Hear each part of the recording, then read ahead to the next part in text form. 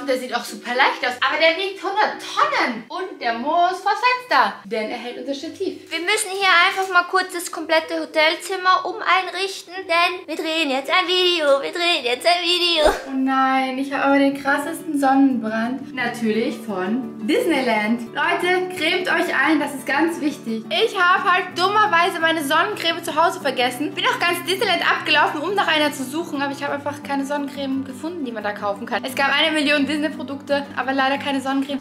Ich hoffe, es geht bald weg. Hier gibt es mega die leckeren Kekse, die haben Gesichter. Das sind glückliche Kekse. Die sind super lecker. Sarina ist nur am Essen. Wenn sie nicht gerade ein Croissant im Mund hat, hat sie einen Keks im Mund. Ich habe ja gesagt, ich nehme die Croissantsocken mit nach Paris. Hier sind sie, der Beweis. Also ich ziehe meine zum Schlafen an. Du sitzt auf meinem Kleid. Hi, hi, hi aus Paris. Paris, Paris, Paris. Wir drehen heute live aus unserem Hotelzimmer in Paris ein BFF Battle. BFF Battle Paris Edition. Disneyland Edition. Hallo ihr Lieben, wir haben heute wieder ein neues Video für euch. Wir haben wieder eine 100 Euro Challenge gemacht gegeneinander. Also jeder hat 100 Euro und wir haben ziemlich schnell gemerkt, dass das nicht so viel ist, denn das Disneyland ist teuer. Mit 100 Euro sind wir nicht weit gekommen, dann haben wir spontan erhöht auf 150 Euro pro Person. Hier sind einfach so viele verschiedene Shops. Ich kann mich überhaupt nicht entscheiden, wo ich reingehen soll. Oh, ich würde so gerne eine Tasse kaufen, aber ich habe Angst, dass die im Koffer kaputt wird. Die machen alle Nickerchen. Alle Disney-Figuren schlafend. Hier. Wie übertrieben sollen deine Ohren sein? Ditchi! er braucht ein Ticket. Sieht einfach nicht so vorteilhaft aus. Candies, aber auch so richtig süße Pullis. Delicious Giant Cookie, Disneyland Paris. I need it. Das ist auch voll cute. Lachen, keine Sorge, ich gewinne dieses Battle. Ah, Ich habe schon mal Popcorn. Die sind ja schon fast leer. Ich hätte sie auch locker leer essen können, aber ich wollte für euch ein paar aufbehalten. Popcorn? Es gab süß und salzig und ich habe mich für süß entschieden. Dieser Kübel mit Popcorn, das waren echt nicht so viele Popcorn, hat 10 Euro gekostet. Hä, aber dieser Kübel ist ein Life-Changer. Den kann man sich einfach umhängen und dann kann man einfach immer, wo man ist und was man will, essen im Gehen. Da kann man alles einfüllen, da kann man Pommes einfüllen, da kann man Chips einfüllen. Man kann einfach so durch die Gegend laufen und einfach essen. Cornflakes! Alles, was man will, das ist so eine tragbare Jausenbox eigentlich. Es gab so viele verschiedene Läden im Disneyland und die sahen alle wunderschön von außen aus. Eigentlich hätten wir auch locker mehr als eine Stunde shoppen können. Ihr müsst wie immer unbedingt bis zum Schluss dranbleiben, wie bei jedem BFF-Battle, denn ihr müsst am Ende abstimmen, wer die cooleren Sachen gekauft hat. Wenn ihr also meinen Haul für 100 Euro besser fand, Sternchen klein gedruckt 150 Euro, dann schreibt am Ende Hashtag Team Vicky in die Kommentare. Oder für meine super coole Ausbeute Hashtag Team Sarina ab in die Kommentare und unbedingt bis zum Ende gucken. Das ist einfach mein Gewinner-Item. Es ist eine Seifenblasenmaschine. Erstens, es kann leuchten. Zweitens, Seifenblasen produzieren. Ich weiß nicht, ob das so gut ist, hier drinnen zu machen. Okay, Fenster auf. Hallo. Liebe Grüße an jeden, der jetzt eine Seifenblase von uns findet. Viel Spaß. Magie, ich verteile Magie. Upsi. Und schon sind wir wieder zu Hause. Der Akku wurde leer im Hotel. Könntest du nicht sagen, wir können beamen oder so? Wir können es ja jetzt cooler darstellen, als es war. Stimmt. Wir haben uns nach Hause gebeamt. Ihr seht schon unsere nächsten Dinge, die wir gekauft haben. Straight out of Disneyland. Schön, dass ihr könnt mich als Prinzessin aufnehmen. Was sagt ihr? Ich denke, fast niemand kann vom Disneyland nach Hause gehen, ohne sich diese super cuten Ohren zu kaufen. Trabia. Ich habe übrigens noch eine kleine Fun-Fact-Story. Wir sind natürlich nicht gebeamt, sondern ganz normal mit dem Flugzeug nach Hause geflogen. Ich hatte so kleine Troubles, wie ich meine coole Seifenblasenmaschine einpacke. Habe sie dann in Klamotten eingewickelt, weil ich Angst hatte, dass die auslaufen. Und ja, sie sind nicht ausgelaufen, nö. Der Schalter ging an und die hat sich von selbst einfach alle Seifenblasen rausgepustet in meinem Koffer. Die war am Ende leer und die Batterie war auch leer. Die hat da drinnen eine Party gemacht in meinem Koffer. Leider sind die Seifenblasen nicht aus dem Koffer rausgekommen. Das wäre toll gewesen. ich habe mir eine Jacke gekauft. Da steht Mickey und hinten ist Mickey drauf. Und die ist XL, weil die war so One-Size. Und das finde ich ganz cool so zum drüberziehen. Die ist Größe L und nicht One Size. Ich mag's gern Oversized. Oh, Ich bin ein bisschen traurig. das wollten wir doch geheim halten. Guckt mal, hier ist ein riesiger Fleck von Mickys Seifenblasenmaschine. Das bekommen wir noch raus. Ich hoffe, der, der Fleck, der geht wieder weg. Oh nein, jetzt müssen wir einfach wieder ins Disneyland. Ich muss dir eine neue kaufen. Tada! Ist das nicht cool? Willst du mal raten, was das kostet hat? 70 Euro. Aber ich weiß nicht, wo das steht. Es hat weniger gekostet. Okay, bitte gerne für die Auskunft machen wir einfach weiter. Es gab so ganz viele Stitch-Gummisachen. Gesundheit. Nein, du brauchst das nicht. Nein, Gummibärchen sind nur alles viel günstiger. Ja, ich habe sie trotzdem gekauft. 4 Euro! So ist es im Disneyland. Und deswegen bekommst du eines und dann nie wieder was. Oh, aber lange. Ich nehme Cola. Guten Appetit. Und, schmeckt das, als wäre es 4 Euro wert? Schmeckt aber schon gut. Na, dann zeig mal, was du noch so gefunden hast. Das hier, das ist eine Handcreme. Oh, wie süß. Ungefähr die süßeste Handcreme dieser ganzen weiten Welt.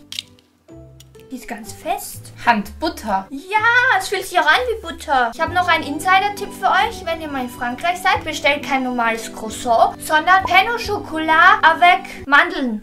Allemand. Allemand. Oder Croissant. Oh, Allemand. So lecker. Ich habe nämlich auch sowas ähnliches. Was ist das? Das ist von der bösen Hexe von Schneewittchen. Äh, wie heißt die denn? Evil Queen. Aber hat die keinen anderen Namen noch? Es ist eine Badebombe. Der Geruch ist Apfel. Giftiger Apfel. Natürlich ist das dann die von Schneewittchen. Wie funktioniert das? Das ist so ein Töpfchen und das ist oben ja noch verschlossen. Aha, ich muss wahrscheinlich das ganze Töpfchen in die Badewanne werfen. Ich freue mich schon darauf, das auszutesten. Und da ich natürlich jetzt nicht sofort ein Bad nehmen will, sondern mir das aufheben will, das hat doch 7 Euro oder so gekostet, hebe es mir für den perfekten Tag auf. Aber damit ihr wisst, ob das cool oder nicht cool war, werde ich es euch auf Instagram zeigen. Versprochen. Und auf Instagram heiße ich Victoria VS. Ich freue mich, wenn ihr mich da abonnieren würdet. Danke. Aber ein bisschen Kopfweh kriege ich von diesen Mini-Maus-Ohren schon. Ich habe noch ein paar Mini-Maus-Ohren. Als Geschenk habe ich die gekauft. Sie werden direkt nach dem Video verschenkt. Du bist ja großzügig. Du kaufst mit deinen 100 Euro, die sowieso nicht mehr ausreichen, 150. noch ein Geschenk. Welche gefallen euch am besten? Bitte einmal in die Kommentare schreiben. Eins, zwei oder drei. Un, deux, trois. Sarina nervt jeden schon nur noch mit Französisch. Die redet zurzeit nur noch Französisch. Sie hat schon drei Französisch-Apps runtergeladen. Er hat noch nicht so viel geholfen. Et comment allez-vous? Was hast du? Pasta! Die kauft sich italienische Pasta im französischen Disneyland. Das ist einfach Disney-Pasta. Goofy, hier ist Minnie Maus. Das ist Donald Duck. Dagobert Duck. Daisy Duck. Mickey Pasta ist serviert. Ich hoffe, es schmeckt auch gut.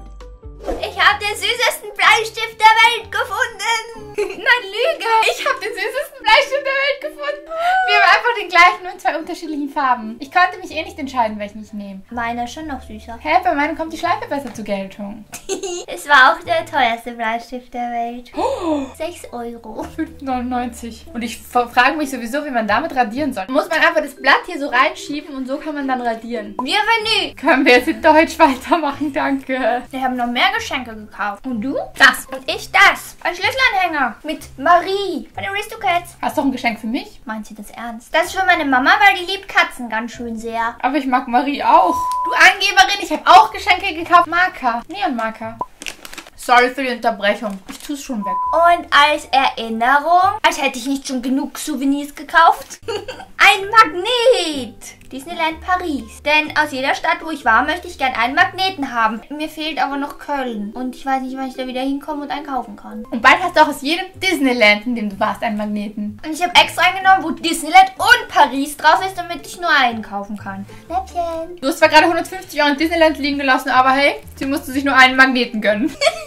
Das Essen hat ungefähr genauso viel nochmal gekostet. Oh, aber das Essen war lecker. Alles gegessen, was so Mickey Maus Form hatte und es hat sich so gelohnt. Eine einzige Sache haben wir nicht mehr geschafft, weil irgendwann war uns dann schlecht. Das Mickey Maus Eis, das haben wir nicht gegessen. Wir müssen noch mal hin. Guckt auf Vikis Instagram vorbei, da seht ihr ein Reel dazu, wo ihr alles seht, was wir gegessen haben. Ich habe auch noch ein T-Shirt gefunden. Ganz verzaubert. Ich konnte mich gar nicht entscheiden. Da waren überall Sachen mit Essen drauf. Und es wurde das hier. Es ist halt einfach mit so einem Popcorn-Eimer. Der Aufdruck hat mir gefallen. Und das ist es. Den Aufdruck super cute. Ist hinten eigentlich auch was drauf? Nö. Preiskärtchen. Jetzt habe ich Hunger auf Popcorn. Du könntest auch Popcorn-Dose gleichzeitig tragen. Genau so werde ich dann sitzen und einen Disney-Film gucken. Mit den Ohren, mit der Dose, mit dem T-Shirt. Größter! Oh, die duftet sogar noch nach Popcorn, obwohl sie schon leer ist. Ein bisschen riecht es auch nach Plastik. Das Shirt hat übrigens 23 Euro gekostet. Ein Lolli mit dem Baby Simba. Welche Geschmacksrichtung? Tutti Frutti. Also ich finde mein Französisch ist vorzüglich. Quatre Euro. 4 Euro. Quatre Euro. Das ist kaputt. Nö. Doch. Du lügst. Nein, doch. Was fehlt da? Irgendwas zum Aufhängen. Hä? Du hast es zerstört. Ich war nämlich in diesem Weihnachtsgeschäft. Erst dachte ich, die haben Weihnachtsdeko vergessen abzuräumen. Aber das war extra so. Wir dachten gerade eben, hier hat jemand die Weihnachtsdeko vergessen. Aber hier drin ist einfach noch Weihnachten. Guckt ganz viele Weihnachts-Disney-Sachen. Weihnachtskugeln. Oh, wie süß. Denn die verkaufen da drin Disney-Weihnachtskugeln, die super teuer waren und aus Glas. Das war mir ein bisschen zu gefährlich. Es hat auch einmal gechappert, es ist eine Kugel runtergefallen. Oh, ein Weihnachtsbaum-Stitch. Ich weiß nicht. Ich auch nicht. Aber dann habe ich den hier entdeckt. Das ist so ein Disney Mickey Mouse Teddybär Lebkuchenmännchen. Das kann nicht zerbrechen. Obwohl jetzt ist da doch irgendwas kaputt gegangen dran. Ich werde ihn einfach reparieren. Und er wird nächstes Jahr, dieses Jahr, Weihnachtsbaum hängen. Jetzt ist der Zeitpunkt gekommen, an dem ihr Hashtag Team Mickey in die Comics schreiben könnt, weil ich hatte die Seifenblasenmaschine und die ist eindeutig am coolsten. Könntet ihr bitte Hashtag Team Sarina schreiben? Danke an jeden, der bis hierhin dran geblieben ist. Danke an jeden, der uns abonniert hat. Danke an jeden, der einen Kommentar schreibt. Bis zum nächsten Mal. Tschüss. Schreibt, ob ihr schon mal im Disneyland wart.